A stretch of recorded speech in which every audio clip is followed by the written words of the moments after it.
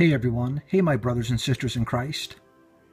I want to start by saying the way we're living right now, you know, on YouTube, exposing the truth, exposing Satan's lies, and promoting the truth and gospel of our Lord Jesus Christ, I think this is part of giving up your life a little, you know, like putting God first any of us right now, instead of doing this, we could go out and party and go out and, you know, like try and meet someone and have a one night stand and get wasted and blah, right?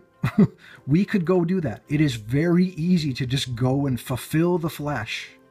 So, saying that, I wouldn't trade anything for the world.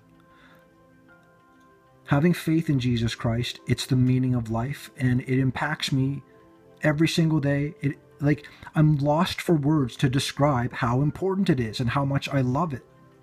In the world, not so much, understandable, but the Lord tells us, you know, you will be hated for my name's sake.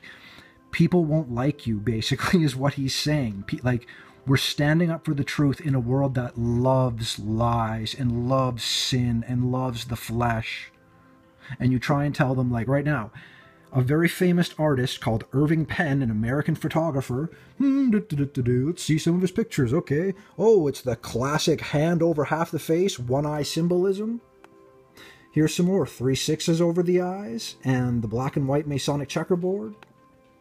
Here's a vow of silence done very sneakily. Here's a one eye symbolism for you.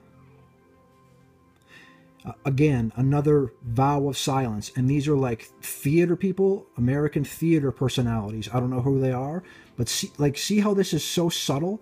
It's the little finger on the lips there, but it's a vow of silence because they're in the club. They're part of the secret. So is the photographer.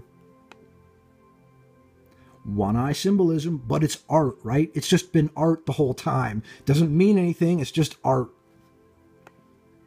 And here's Yves Saint Laurent, who has something to do with the fashion industry, having one eye symbolism. It's the whole world, basically, everyone.